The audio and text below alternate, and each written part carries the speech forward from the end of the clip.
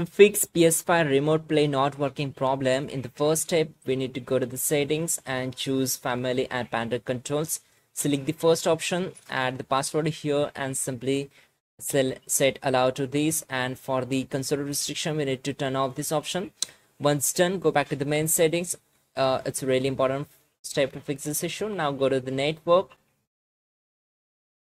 select the network and choose connection status and select the view playstation network status. Make sure all the green circles here. If not what we have to do is simply go to the settings and choose set up internet connection. Press option button from your controller on your internet connection and select the frequency bands to automatic.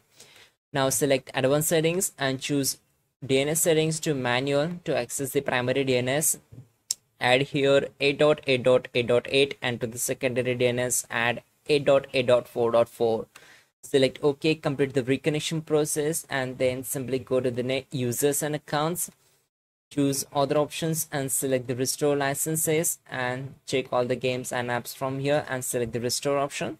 This will take around four to five seconds to complete the process and once done we need to simply select the console sharing and offline play and we need to enable this option. After that restart your ps5 and the problem will be fixed. That's it guys. You're good to go